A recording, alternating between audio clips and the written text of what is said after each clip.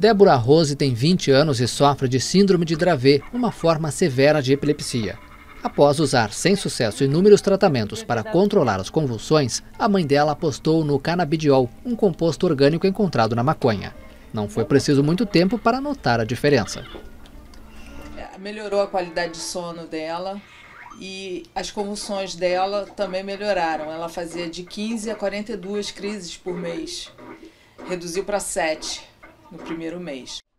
Os medicamentos derivados da maconha são ilegais no Brasil, mas o Senado examina um projeto de lei para legalizá-los, inclusive o canabidiol.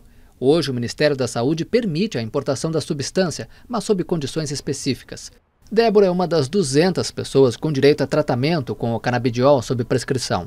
O médico da paciente está confiante nos benefícios da droga maconha recreativa pode ter seus efeitos adversos, né? Reações paranoides, reações de ansiedade. É, mas é um erro confundir isso com, com o canabidiol.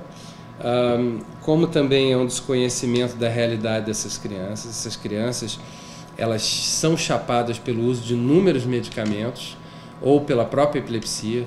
A gente pode dizer que mais de 90% tiveram é, uma melhora, se não perto de 100%. Mas a importação do canabidiol é cara. Um mês de tratamento pode valer 1.800 dólares. Todo o processo tem de passar ainda pela Anvisa, a Agência Nacional de Vigilância Sanitária, que no momento é contrária a uma possível produção local da medicação. A Anvisa ela tem, ela tem um monopólio sobre a questão sanitária no Brasil, né? da segurança sanitária mesmo. Eu vejo a razão no medo da Anvisa de, do cultivo de cannabis sair do seu controle dentro do parâmetro que a lei dá, medicinal e, e científico. As plantas utilizadas no canabidiol são baixas em THC, a principal molécula ativa da maconha com efeitos psicoativos. Este produtor, que não quis se identificar, já cultivava a erva ilegalmente com o objetivo de produzir a substância. Ele distribui a medicação gratuitamente para quem precisa, utilizando uma rede de ajuda que conta com médicos, produtores e advogados. Já obtei esse, medica esse medicamento para mim pessoalmente e eu vi, poxa, se faz bem para mim, por que eu não posso fazer para outras pessoas? Né?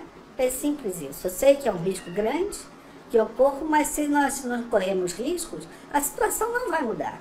E o principal objetivo é mudar isso. Os produtores podem pegar de 5 a 15 anos de prisão por tráfico de drogas e mais 10 a 15 anos pela produção fraudulenta de medicamentos. Mas para eles o risco vale a pena enquanto houver pessoas como Débora que precisam da droga para sonhar com um futuro. Bota, ó, deixa a Carla colocar na sua mãozinha.